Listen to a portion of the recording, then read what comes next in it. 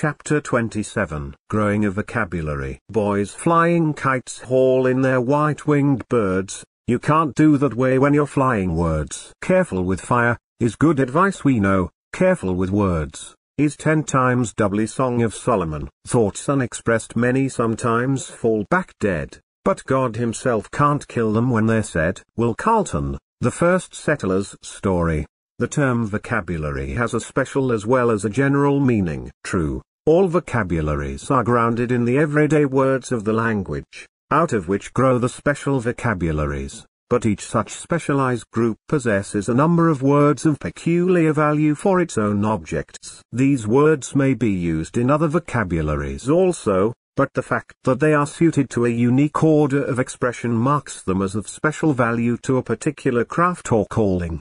In this respect the public speaker differs not at all from the poet, the novelist, the scientist, the traveler. He must add to his everyday stock, words of value for the public presentation of thought. A study of the discourses of effective orators discloses the fact that they have a fondness for words signifying power, largeness, speed, action, color, light, and all their opposites. They frequently employ words expressive of the various emotions, descriptive words, adjectives used in fresh relations with nouns, and apt epithets, are freely employed. Indeed, the nature of public speech permits the use of mildly exaggerated words which, by the time they have reached the hearer's judgment, will leave only a just impression.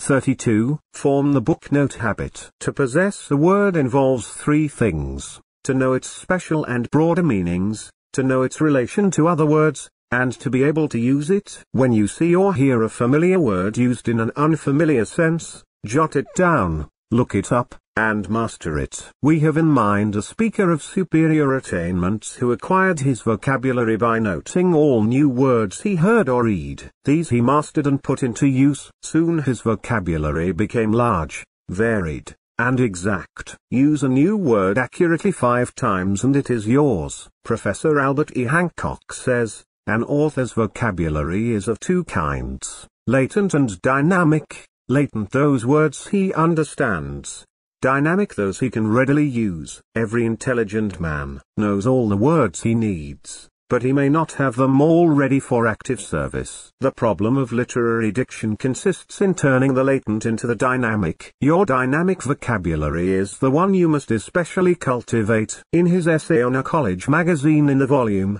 Memories and Portraits, Stevenson shows how he rose from imitation to originality in the use of words. He had particular reference to the formation of his literary style, but words are the raw materials of style, and his excellent example may well be followed judiciously by the public speaker. Words in their relations are vastly more important than words considered singly. Whenever I read a book or a passage that particularly pleased me, in which a thing was said or an effect rendered with propriety, in which there was either some conspicuous force or some happy distinction in the style, I must sit down at once and set myself to ape that quality. I was unsuccessful, and I knew it, and tried again, and was again unsuccessful, and always unsuccessful, but at least in these vain bouts I got some practice in rhythm, in harmony, in construction and coordination of parts, I have thus played the sedulous ape to Hazlitt,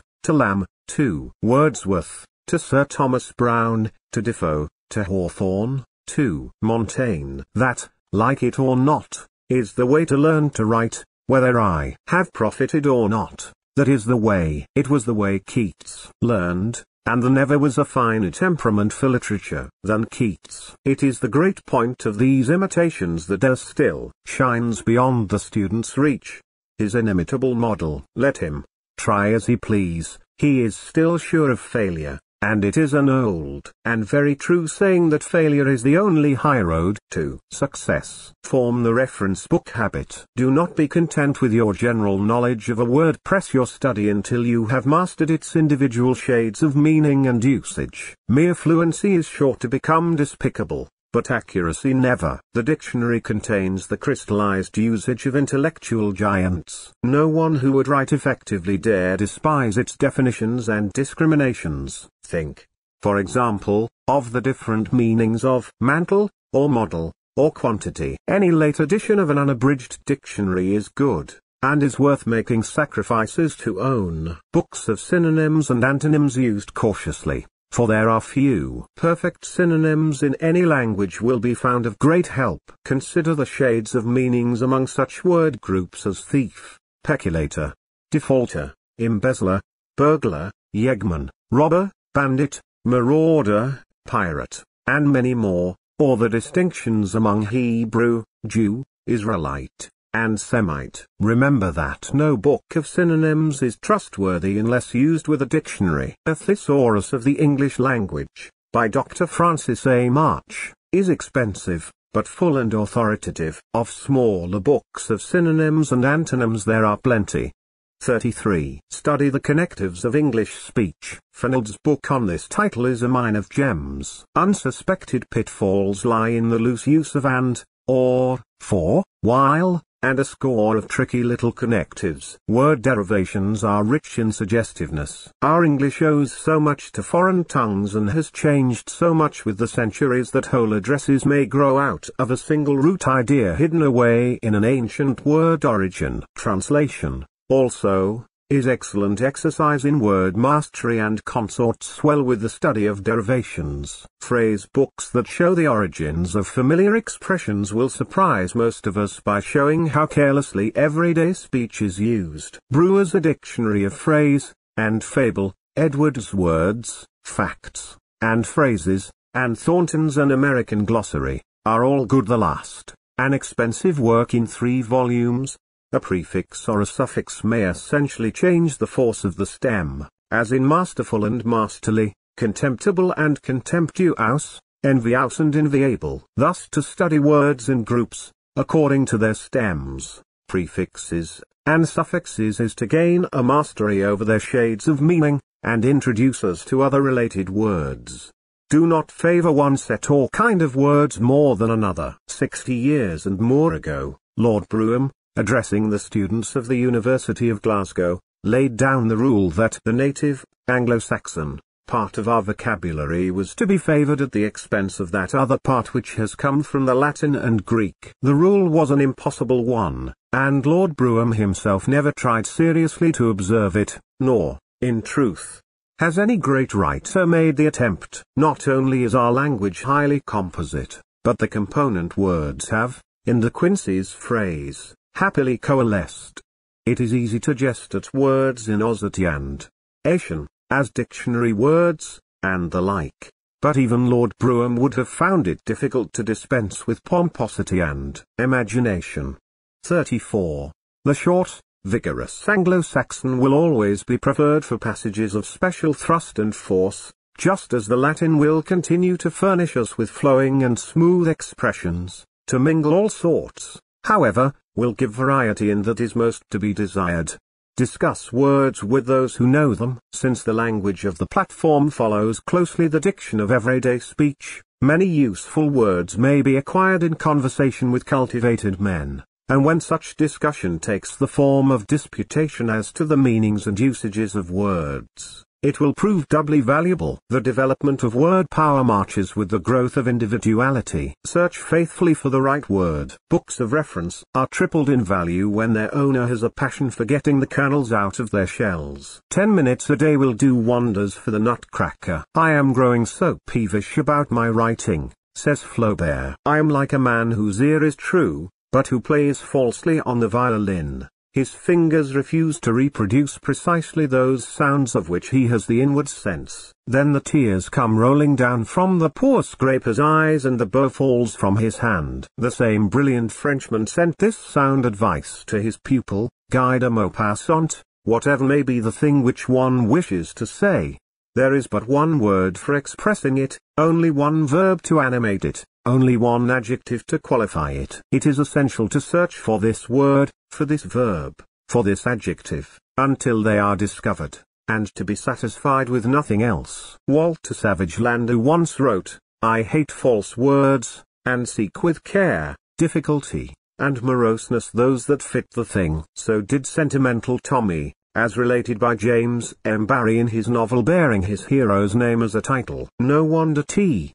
Sandys became an author and a lion. Tommy, with another lad, is writing an essay on a day in church, in competition for a university scholarship. He gets on finely until he pauses for lack of a word. For nearly an hour he searches for this elusive thing, until suddenly he is told that the allotted time is up, and he has lost. Barrie may tell the rest. Essay. It was no more an essay than a twig is a tree, for the gowk had stuck in the middle of his second page. Yes, stuck is the right expression as his chagrin teacher had to admit when the boy was cross-examined. He had not been up to some of his tricks, he had stuck, and his explanations, as you will admit, merely emphasized his incapacity. He had brought himself to public scorn for lack of a word. What word?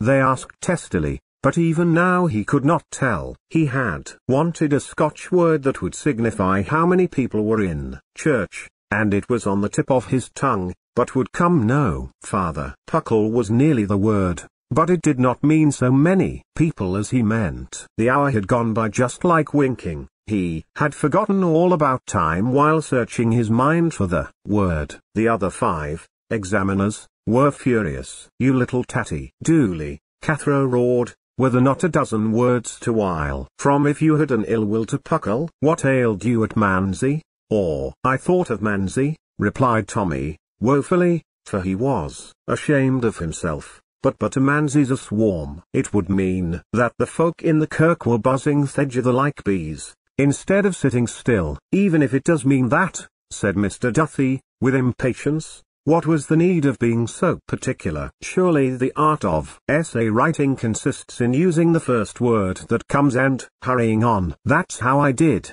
said the proud McLauchlan, Tommy's successful competitor. I see, interposed Mr. Gloag, that McLauchlan speaks of there being a mask of people in the church. Mask is a fine Scotch word. I thought of mask, whimpered Tommy, but that would mean their kirk was crammed, and I just meant it to be middling full. Flow would have done, suggested Mr. Lorimer. Flow's but a handful, said Tommy. Curran, then, you jackanapes. Curran's know enough. Mr. Lorimer flung up his hands in despair. I wanted something between Curran and Mask, said Tommy, doggedly, yet almost at the crying. Mr. Ogilvy, who had been hiding his admiration with difficulty, spread a net for him. You said you wanted a word that meant middling full. Well, why did you not say middling full or fell? Mask? Yes, why not? demanded the ministers, unconsciously caught in the net. I wanted one word, replied Tommy, unconsciously avoiding it. You jewel, muttered Mr. Ogilvy under his breath. But Mr. Cathro would have banged the boy's head had not the ministers interfered. It is so easy, too, to find the right word, said Mr. Gloag. It's no, it's difficult as to hit a squirrel, cried Tommy, and again Mr. Ogilvy nodded approval. And then an odd thing happened. As they were preparing to leave the school, Cathro having previously run Tommy out by the neck, the door opened a little and there appeared in the aperture the face of Tommy, tear-stained but excited. I ken the word now, he cried. It came to me at once. It is Hantle. Mr. Ogilvy said in an ecstasy to himself. He had to think of it till he got it and he got it. The Luddy is a genius. Questions and exercises. 1. What is the derivation of the word vocabulary? 2. Briefly discuss any complete speech given in this volume, with reference to a. Exactness, b. Variety, and c. Charm, in the use of words. 3.